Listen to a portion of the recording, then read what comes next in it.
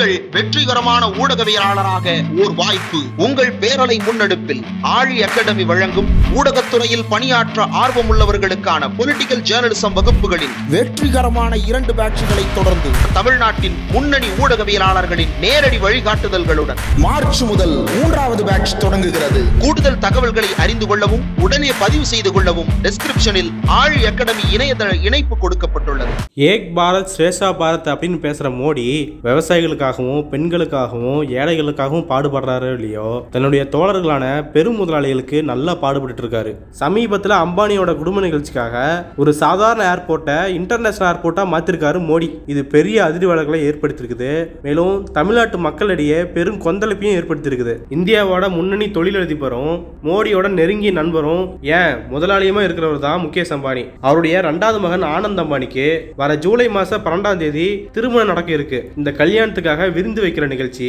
March ஒன்னாம் தேதியிலிருந்து மூணாம் தேதி வரைக்கும் குஜராத் மாநிலம் ஜாம் நகர்ல நடத்துறதா முடிவெடுத்திருந்தாங்க. இந்த நிகழ்ச்சியில கலந்துக்கிறதுக்காக பில் கேட்ஸ் மெட்டா ஓனரான மார்க் சுக்கர்பெர்க் ஆகியோர்கள்லாம் உலக தலைவர்கள் பல பேருக்கும் இன்விடேஷன் அனுப்பியிருக்கிறாங்க.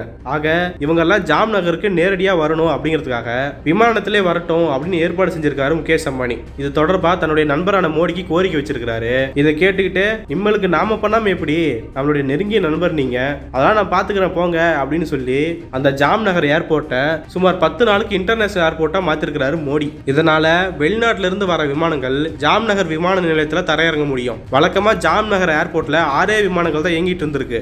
ஆனா இந்த அறிவிப்பை தொடர்ந்து அதுவும் முகேஷ் அம்பானி கல்யாணத்துக்காகவே ஒரு நாளுக்கு நூத்தி நாற்பது விமானங்கள் வந்து போறதா செய்திகள் சொல்லுது. இந்த அறிவிப்பை தொடர்ந்து ஒன்றிய அரசோட சுகாதாரத்துறை அமைச்சகம் நிதி அமைச்சகம் மற்றும் உள்துறை அமைச்சகம் எல்லாரும் சேர்ந்து அந்த விமான நிலையத்துல டாய்லெட் கட்டுறது டைல்ஸ் போறது அப்படின்னு பல வேலைகளை செஞ்சு கொடுத்துருக்காங்க மேலும் ஜாம் நகர் விமான நிலையத்தோட பயணிகள் கட்டணம் இருக்கு. அதோட பரப்பளவை நானூத்தி எழுபத்தஞ்சு சதுர மீட்டர்ல இருந்து தொள்ளாயிரம் சதுர மீட்டரா விரிவாக செஞ்சிருக்கிறாங்க ஒன்றிய அரசு. இந்த அடுத்தடுத்த அறிவிப்புகள் செயல்பாடுகள் தான் இந்திய மக்களிடையே ஒரு அதிர்ச்சி ஏற்படுத்த ஏற்படுத்தியிருக்கு அப்படின்னு சொல்லலாம். இந்த ஏர்போர்ட்டை இன்டர்நேஷனல் ஏர்போர்ட்டா மாத்தினதுக்கு தமிழர்கள் ஏன் கொந்தளிக்கிறாங்க அப்படின்னா மதுரை விமான நிலையத்தை சர்வதேச விமான நிலையமா தரம் உயர்த்தணும் அப்படின்னு கடந்த பத்து ஆண்டுகளா கோரிக்கை வச்சுட்டே இருக்காங்க.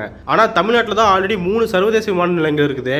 உங்களுக்கு எதுக்கு இன்னொரு சர்வதேச விமான நிலையம்? அப்படின்னு ஒரு மட்டமான காரணத்தை சொல்லி மதுரை விமான நிலையத்தை தரம் உயர்த்தாம இன்னும் கிடப்பிலே போட்டு வச்சிருக்காங்க இதையெல்லாம் சொல்லி தான் என் வீட்டு பிள்ளைக்கு அஞ்சு ரூபா பலூன் வாங்கி தர வக்கில்ல ஆனா அவங்களுக்கு மட்டும் ஐநூறு ரூபா கொடுப்பியா? அப்படின்னு களவாணி படத்துல வர டைலாக் வச்சு நிறைய பேர் கலாய்ச்சிட்டு இருக்காங்க நிறைய பேர் தன்னுடைய கோபத்தையும் வெளிப்படுத்திட்டு இருக்காங்க முக்கியமா மதுரை எம்பியான சு. வெங்கடேசன் அவர்கள் இப்படிப்பட்ட அறிவிப்பு மோடி அரசின் மெகா மொய் அப்படின்னு கடுமையா விமர்சிச்சிருக்காரு. அதாவது முகேஷ் அம்பானியோட மகன் கல்யாணத்துக்கு மோடி மொய் வச்சிருக்கிறாரு. அதுதான் இந்த அறிவிப்பு அப்படிங்கிற வகையில் தான் அது சொல்லியிருக்காரு. இந்த அறிவிப்பெல்லாம் சொல்லி மதுரையின் பல ஆண்டுகால சர்வதேச விமான நிலைய கோரிக்கை மட்டும் இன்னைக்கு வர ஈடேறவே இல்லை. தமிழ்நாட்டுக்கு நாலு சர்வதேச விமான நிலையம் எதுக்கு அப்படின்னு கேட்டவங்க தான் இவங்க அப்படின்னு தன்னோட பதிவுல சொல்லியிருக்கிறாரு. மேலும் காங்கிரஸ் எம்பியான மாணிக்கம் தாக்கூர் பத்து நாள் நடக்கும் அம்பானி இல்ல விழாவுக்காக ஜாம்நகர் விமான நிலையத்துக்கு சர்வதேச தகுதி வழங்குறதா? பல ஆண்டா கோரிக்கை வச்சியும் தமிழ்நாடு விமான நிலையத்துக்கு சர்வதேச தகுதி வழங்கல. தமிழ்நாட்டின் மீதான ஒன்றிய அரசின் பாகுபாடு உச்சத்துல இருக்குது அப்படின்னு சொல்லியிருக்கிறாரு. ஆக எல்லா தகுதியும் இருந்து ஒரு மாநிலம் பல ஆண்டுகளா கேட்டுமே அதை நிறைவேற்றி கொடுக்கறதுக்கு மனசு கிடையாது. மாறா உங்களுக்கு எதுக்கு நாலு விமான நிலையம்னு கேள்வி கேட்கறாங்க ஆனா முகேஷ் அம்பானி ஒரு லெட்டர் எழுதின உடனே அவங்களுக்கு விமானமா வந்து குவியுது. கட்டடம் கட்டி கொடுக்குறாங்க டைல்ஸ் ஒட்டி கொடுக்குறாங்க பெயிண்ட் அடிச்சு கொடுக்குறாங்க எல்லா எல்லா வேலையும் பார்த்து கொடுக்குறாங்க. நாட்டில் பல்வேறு கோரிக்கைகள் இருக்கு. ரயில்வே ஸ்டேஷன் மேம்படுத்த வேண்டியிருக்கு. மருத்துவமனைகள் மேம்படுத்த வேண்டியிருக்கு. ஆனால் அதையெல்லாம் மக்கள் சுட்டி காட்டினா எதுவுமே செய்ய மாட்டார். ஆனால் தன்னோட முதலாளி ஒரு கோரிக்கை வச்ச உடனே இல்லை இல்லை ஆர்டர் போட்ட உடனே உடனே கையெழுத்து போட்டு எல்லா வேலையும் பார்க்க சொல்லியிருக்கிறாரு மோடி. இதையெல்லாம் நமக்கு எதை உணர்த்துதுன்னா மக்களுடைய பேச்சுக்கெல்லாம் அங்கே மதிப்பு கிடையாது. பெரும் முதலாளிகளோட பேச்சு தான் அங்கே மதிக்கப்படும் அப்படிங்கிறது தான். இன்னொரு பக்கம் என்னங்க ஏர்போர்ட்டை சர்வதேச விமான நிலையமாக மாத்தினதுக்கு கொந்தளிக்கிறீங்களே? இன்னும் நாட்டை மட்டும் தான் அவர் எழுதி தரல. அவர் எழுதி தந்துட்டாங்கன்னா அம்பானி அதானியோட கம்பெனிக்குல நம்ம சந்தோஷமா வாழ்ந்துட்டு இருக்கலாம் அப்படின்னு சொல்லிட்டு இருக்காங்க. மோடியோட அரசு கார்பரேட்டுக்கான அரசு அப்படின்னு எல்லாத்துக்குமே தெரியும். ஆனாலும் நான் அந்த நிலையிலிருந்து கொஞ்சம் கூட மாறல.